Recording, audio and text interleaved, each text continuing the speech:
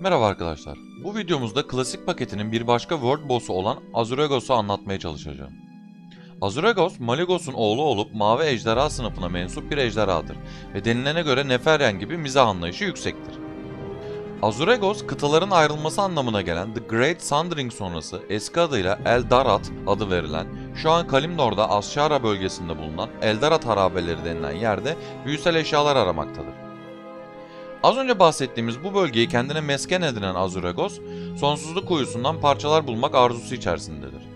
Ve gerekirse bunun için ölümüne mücadele vermeye hazır olduğu söylenir.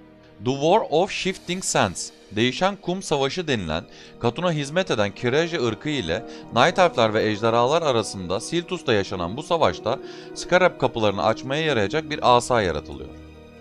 Savaş sonrasında elflerin komuta lideri olan Fandral Staken tarafından bu asa parçalara ayrılıyor ve korunması için 4 ejderha sınıfı temsilcisine teslim ediliyor ki Ankiraj'ın belası tekrar Azeroth'a yayılmasın diye.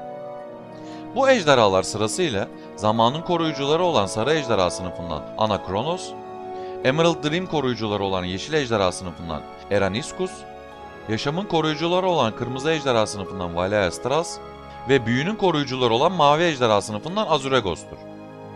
Tek arzusu kadim Night Elf şehrinden geriye kalan büyü kalıntılarını bulmak olan Azuragos'un başı bu asa parçası yüzünden dertten kurtulmaz. Bütün yaşam formlarının ilgisini çekmeye başlar. 500 yıl boyunca sorunsuz bir şekilde asa parçasını koruyan Azuragos biz kahramanlar tarafından yenilir. Ruhlar alemine geçiş yapan Azuragos burada bir ruh iyileştiricisi olan Anara ile romantik bir ilişki kurmaya başlar. Maligos'un ölümünden sonra Mavi Ejderha sınıfının lideri olan Kaleagos, Azuragos'u bulur ve kendisine bazı görevlerde yardım etmesini ister. Her ne kadar Kaleagos'un liderliğini onaylamasa da yardım talebini kabul eder. Melician ve Alacakaranlık Lordu Katrana'yı yenmesinde yardımcı olur. Bu olay Kataklizm ek paketinde yaşanırken Legion ek paketinde ise Nexus'ta başka bir görevde yine Kaleagos'a yardım eder. Kaleagos, Nexus Prensi Bilal ile dövüşürken Azuragos da Nexus'un girişini güvenceye alır. Bundan sonrasında da kendinden haber alınamaz. Denilir ki aşkı Anara'nın yanında ketum bir hayat sürmeye gider. Ve böylece klasik paketinin World Boss'larından biri olan Azuragos'un kısa hikayesinin sonuna gelmiş oluyoruz arkadaşlar. İzlediğiniz için teşekkür ederiz. Bir başka videoda görüşmek dileğiyle. Hoşçakalın.